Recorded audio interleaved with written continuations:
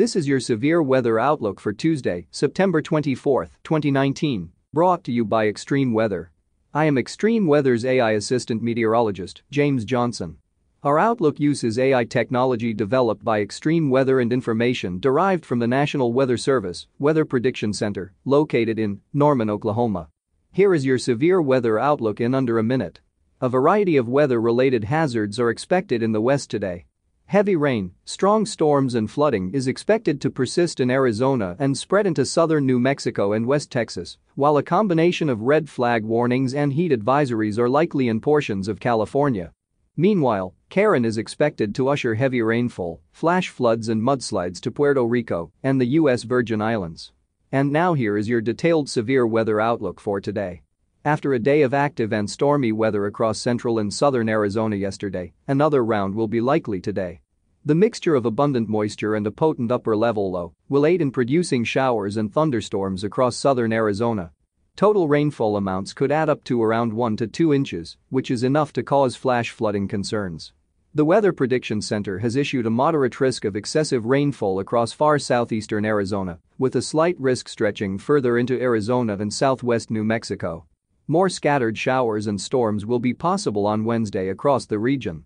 Elsewhere, a cold front will swing across the plains and into the Great Lakes by Wednesday. As it does it will fuel thunderstorms from the central plains to the upper Mississippi Valley today and tonight. Some of these storms could be severe, with damaging wind, large hail, frequent lightning, and isolated tornadoes. The Storm Prediction Center has issued an enhanced risk of severe thunderstorms across portions of southeast Minnesota and central western Iowa. At the same time a weaker cold front found across the southeastern U.S. is forecast to stall between central Arkansas and eastern Oklahoma.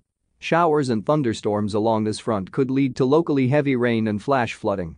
A slight risk of excessive rainfall, as well as flash flood watches are in effect across this area. High temperatures will run 10 to 15 degrees above average across the central plains and upper Midwest today ahead of the cold front. This equates to highs in the 80s, with low 90s across western Kansas. Summer will also hang on across the southeast today and Wednesday. High temperatures here will run 5 to 15 degrees above average, with highs reaching into the mid-90s.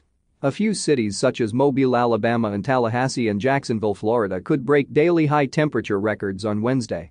Cooler temperatures around 5 to 10 degrees below average will be found across the northwest and northern plains by Wednesday. This is James Johnson reporting for Xtreme Weather. Have a great weather day, America. This broadcast is made possible in part by Xtreme Weather.